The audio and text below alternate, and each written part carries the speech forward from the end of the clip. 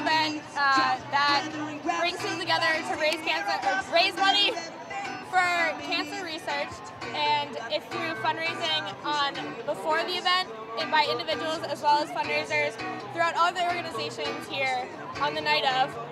And basically, one person from each team has to be walking at all times for the whole 12 hours, and it's a really fun time, and it goes on all night.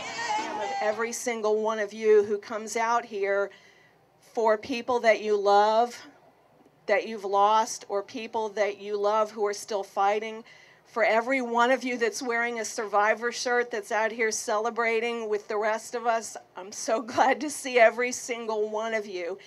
And I'm so glad that even though my cancer is not curable, that I am here celebrating.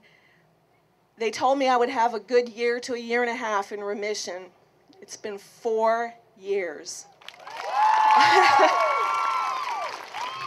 think it's a it's a good way of remembering those people that are have either lost their battle with cancer or fighting their battle with cancer, and I think it it brings people together because we've all had some sort of shared experience in that. I think that uh, it's a great way to show that even though cancer is such a sad and devastating disease, like there's ways that we can overcome it and there's hope for the future for finding a cure, and this just really shows that. Um, I think relay is remembering the people we've lost and also remembering where we're going to go in the future that we're going to have battling cancer.